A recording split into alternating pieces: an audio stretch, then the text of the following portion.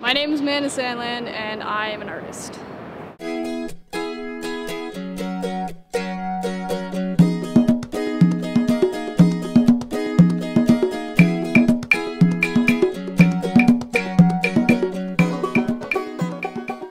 I work with digital mediums like Photoshop and a tablet. Um, I do paper, pencil, pen, painting. Um, I've even sewed a bit. I tend to draw cartoons, comics. Lately it's been a lot of real life stuff. I'm finding it difficult to do realistic stuff like still lives, um, life drawing, so nudes. It, I don't know, it's all new mostly, so it's pretty hard.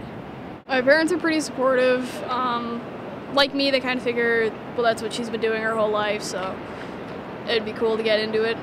The thing I do the most is cartoons and comics, and that kind of is up here, but I'm in the cartoon club. Cartoon club!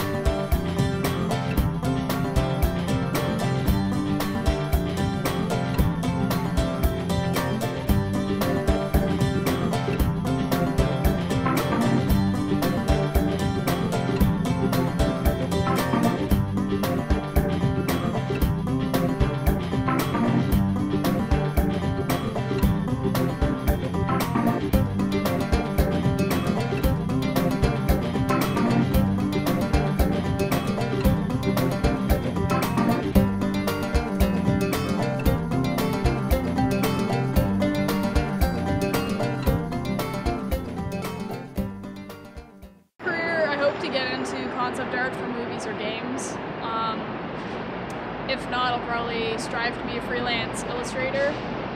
I've kind of given up on animation recently because of my course. Uh, there's about 40 people that are accepted each year, so it's kind of really strict competition. As a concept artist, you kind of got to move around a lot. You don't just do concepts for one company. Um, well, you can, but I don't really have one specifically. I'd rather not work for Disney or Pixar. If you're not top of line when you come out of college or university or whatever, uh, you're gonna be struggling to find a job. So it's all really, really competitive. People want different styles. People want uh, certain styles, like the Disney style.